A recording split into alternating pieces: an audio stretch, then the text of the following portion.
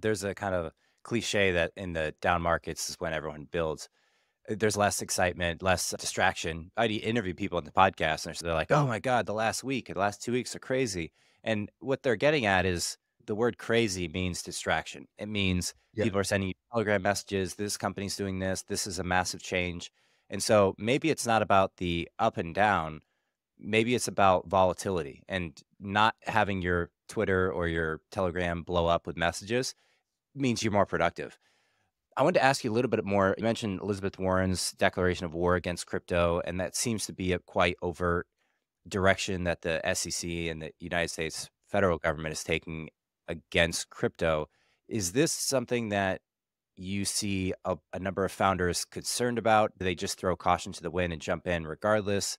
Do you think the existential risk of the US like cl- clamping down hard and almost banning all crypto projects and crypto trading and the influence of the United States and the Western world. Is that a real threat? Because that it felt to me like we had passed the point of escape velocity. You have hundreds of companies in your crypto project. I talk to people who are super, super smart. They're running projects with dozens or hundreds of people with millions and millions of dollars. It felt like this is beyond experimental mode. And now this talk of banning crypto. What do you think about this? First of all, I've worked for US companies and I've lived in the US, but I'm not a US citizen. So I'm always wary of throwing in my two cents when I'm not resident in that country. So I- it makes me a little bit, there's an element of sadness when I see the US turning its back on an industry that I love and I think has a huge potential. What we are seeing is a lot of founders are very mobile, right? I don't have the stats to hand, but we've seen quite a lot of teams from the US get through to our investment committee too, which is the, the stage before we offer that they can offer um, to go on our accelerator. But I understand some of those founders are in they're in like Lisbon in Portugal, some of them are in Dubai, some of them are in London, some of them are in Mexico, Canada. Uh, so maybe there is, and I don't have enough data points for this. So this is some of this is, I suppose, anecdotal, but it does seem that founders are maybe migrating outside of the US, or else they're looking to be based in the US, but most of their energy and efforts will be overseas. That seems to be the trend that's emerging. From somebody not living in the US, outside perspective, why do you think the US is so strongly targeting crypto as an enemy? I can just guess. I, I think it, it does seem that there is quite a most of the people who are regulating so hard against crypto are over 70. So they don't come from a position where they really understand the space. And I also would assume that whoever is lobbying them the hardest is probably not putting a very positive slant on the space. Money talks to some degree. So uh, I think crypto doesn't really have a strong lobby. I think we will learn from this. I think there will be a very strong lobby that will emerge that will maybe give crypto an edge in time. But it's one of the things you got to retreat, rebuild, and then work forward. So I think those are some of the things. I also think the FTX debacle, whatever you want to call it, like that.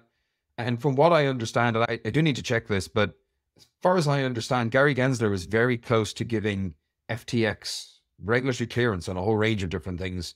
It's pretty incredible that somebody in the tent, somebody who was very close to the traditional financial system, it got exposed in such a way that I, I think everybody must be doubting themselves afterwards, going, hang on, if somebody, and I think there was always signs. I'm always skeptical as a footnote.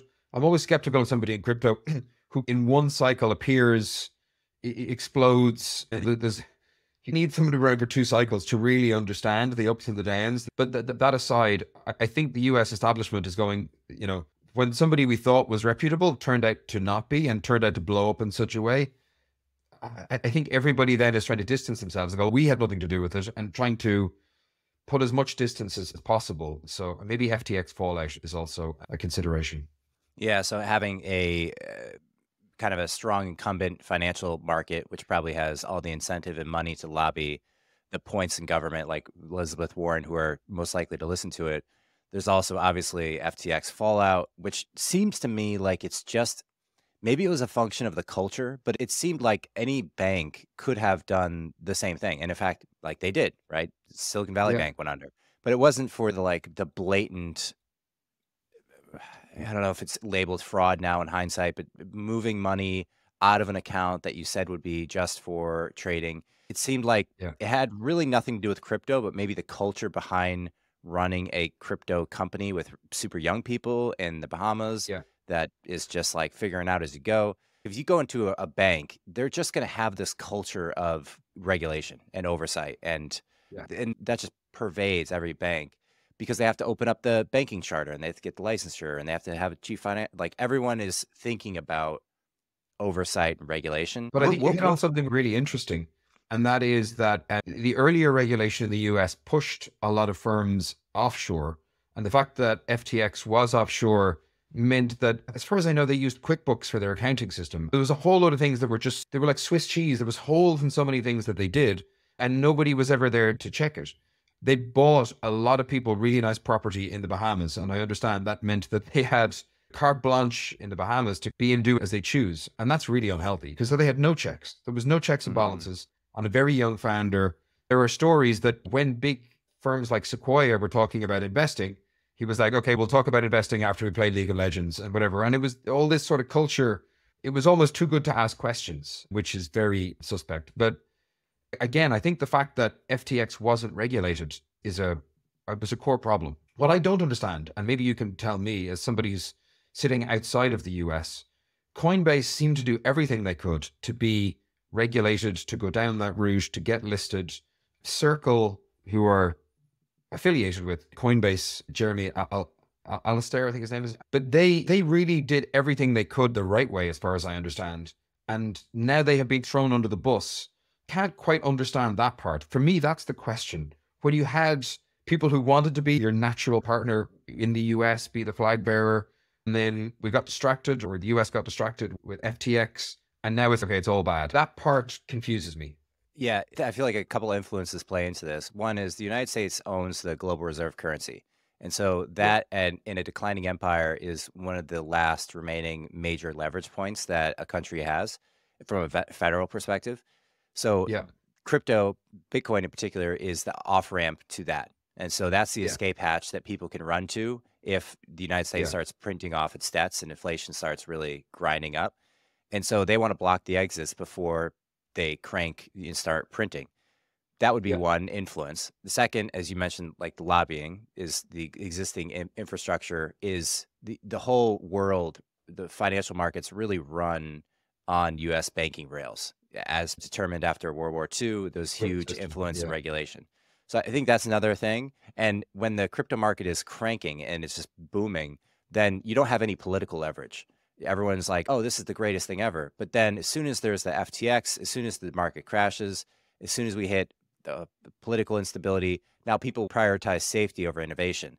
So that's where I think the change in the political winds to look at crypto as the enemy means that I think of these systems oftentimes as analogous to organic systems. You have your body, and then everything in it is looking for threats of invaders. And when it detects one, your immune system recognizes it and it attacks. The threat to the establishment regulated body is non regulated entities. So you'd say, why would they attack Coinbase? Sometimes the body has an autoimmune disease where it recognizes its own self as the enemy. And it does that because of a, like a mischaracterization of what itself is. And so I think the federal government is now reconceptualizing itself as a US dollar entity. Like the federal government and the US dollar are the same thing. They are preserving Yeah. themselves. And so they look at Coinbase and they say, oh, you're the exit out of here. Even though you're regulated, we shouldn't have done that. That was a mistake. You shouldn't have been allowed to even get regulation in the first place, thus attack dogs. And they Yeah. figure out a way to bring them down. I also think the nature of the Bitcoin narrative, as you say, that it is the off ramp. There's a lot of chat about de dollarization around the globe and Balaji Srinivasan's million dollar bet. All of those things, they don't go unnoticed. So I think they do bring us into conflict with regulators and with the powers that be because it is a direct challenge. But I don't know if you've read, there's a book called The Sovereign Individual. Maybe you're familiar with it Yeah. written in like the mid 90s. Rees-Mogg and James Davidson. It's very interesting. They laid out a lot of this stuff before Bitcoin was around. And they had a phrase that like cyber commerce would lead to, I think what they called it, it was some sort of a digital, they didn't call it digital currency, but the equivalent.